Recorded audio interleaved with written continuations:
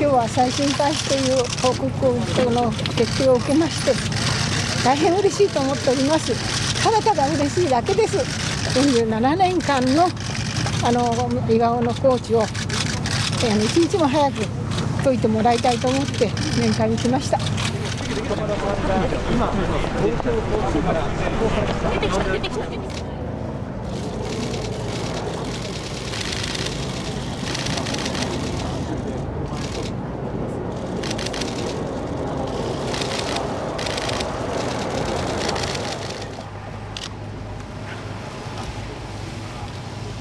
釈放されました。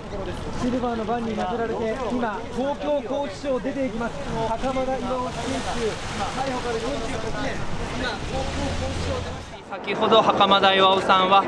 東京拘置所を釈放され今お姉さんと一緒に外に出たということです。決定文をこうアクリル板越しに見せて、え、主文本件最初を開始すると死刑の執行停止、えー、高知の執行停止まで、え、静岡地裁が認めてくれたんだよと袴田さんと何度も何度もあの伝えました。で何何べも同じ話言われても困るんだとかですね。あの本当に反応としては正直薄い感じで、えー、ちょっとピンときてこないという感じだったんですが、まあ、それもこの長期間の間ずっと自分は無実だと言い続けながらあ死刑囚としての地位を解かれなかった彼の精神状態から考えればにわかに信じられないとしかも即日いきなり釈放なんだというのは